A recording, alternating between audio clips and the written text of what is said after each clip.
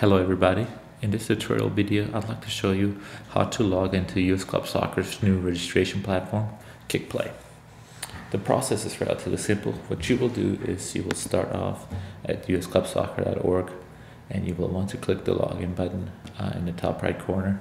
The one thing I want to preface, the next step is um, in the near future, this next screen is going to be replaced by a drop down that will happen on this page, but for the time being, when clicking on this login button, you will be taken to a separate site here.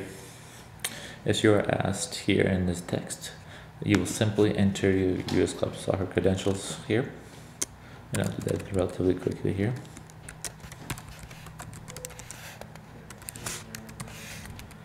Once you've done that, upon your first login, you will be taken to this confirm your account page.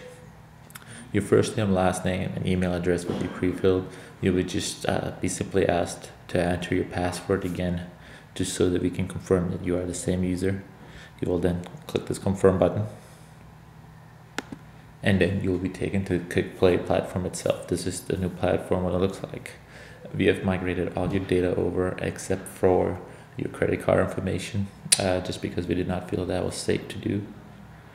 Now to manage your club and organization, you simply click the manage button to the right of your name and you're taken to the organization dashboard where you can start managing your card requests and your membership of US Club Soccer.